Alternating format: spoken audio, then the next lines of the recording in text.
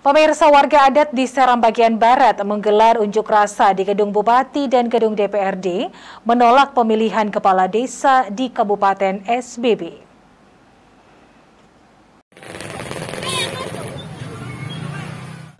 Senin pagi warga adat yang menamai Aliansi Pemerhati Masyarakat Adat Sukamase Nusa ini menggelar aksi unjuk rasa di gedung kantor Bupati dan gedung DPRD Kabupaten Seram bagian Barat. Warga desa Loki, Maloang, Seakalase, Walakone, Soleha, Lumapelu, Makububui, Masihue, Eti, Nurue, Kamarian, Honitetu, Seriholo, Hukuana Kota hingga Piru berbulat untuk menolak pilkade serentak yang sudah dilaksanakan di beberapa desa di Kabupaten Seram bagian Barat. Mulanya masa berkumpul di Tugu Oma Opa Kota Piru, mereka menggelar prosesi adat Pasawari atau panggilan leluhur sebelum long march menuju gedung Bupati. Dari atas mobil komando mereka mengancam Bupati sambil iring-iringan sepeda motor menakan ikat kepala merahkan langit seram bagian barat. Cakalele dan Tahuri mewarnai aksi unjuk rasa sambil membentengkan kain merah berukuran panjang bertulisan tolak Perda 11 tahun 2019.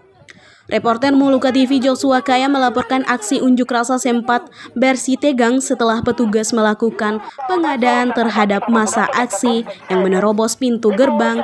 Mereka sempat melompat pagar yang dijaga ketat aparat hingga menimbulkan keributan.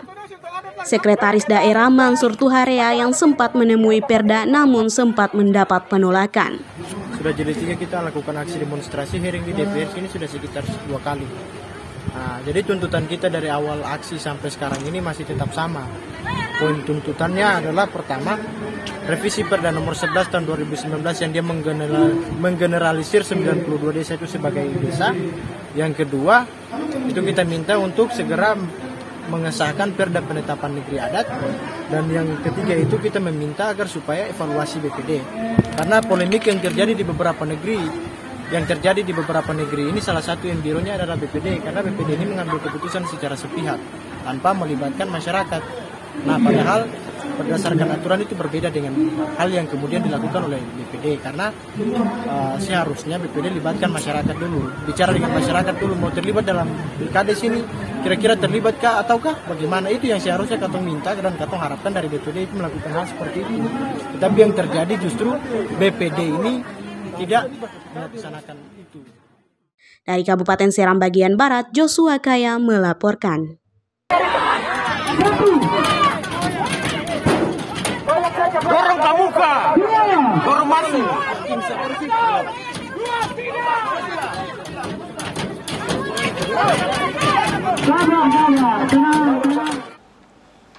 Pemirsa usai pariwara berikut ini, hal ombon kembali untuk Anda.